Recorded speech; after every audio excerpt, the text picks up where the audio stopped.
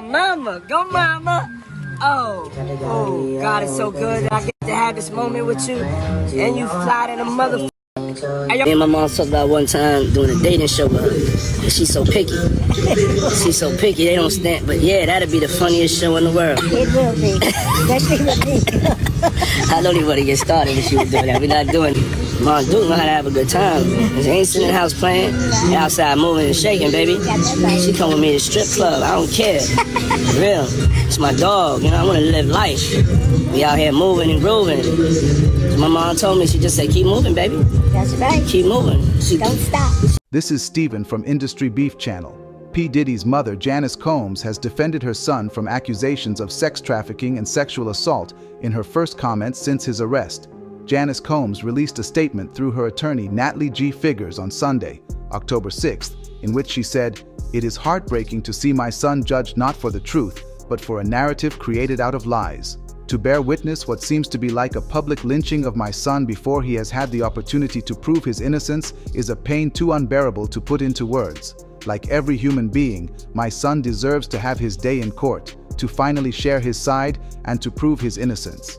83-year-old Janice Combs also addressed her son's relationship with Cassie and the brutal assault that was caught on camera by hotel CCTV. My son may not have been entirely truthful about certain things, such as denying he has ever gotten violent with an ex-girlfriend when the hotel's surveillance showed otherwise, she added.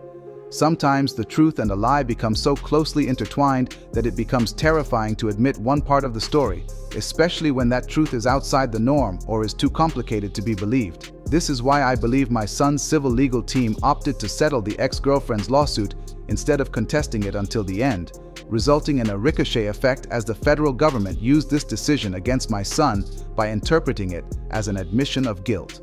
Janice Combs also suggested that Diddy has been unfairly targeted. Many individuals who were wrongfully convicted and later exonerated had their freedom taken from them, not because they were guilty of the crimes they were accused of, but because they didn't fit the image of what this society considers to be a good person. History has showed us how individuals can be wrongfully convicted due to their past actions or mistakes. The mogul's mother added that she believed the lawsuits filed against him were motivated by money.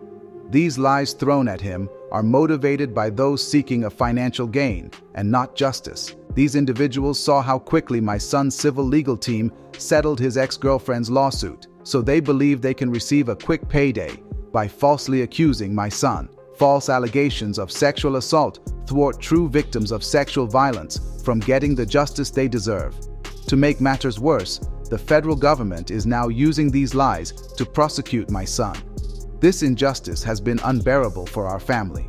The worst part of this ordeal is watching my beloved son be stripped of his dignity, not for what he did, but for what people choose to believe about him. She concluded, My son is not the monster they have painted him to be, and he deserves the chance to tell his side. I can only pray that I am alive to see him speak his truth and be vindicated. Diddy currently remains incarcerated at the Metropolitan Detention Center in Brooklyn as he awaits trial. What do y'all think about what Diddy's mother just said concerning her son? Share your opinions in the comments section. Don't forget to smash the like button and subscribe to our channel.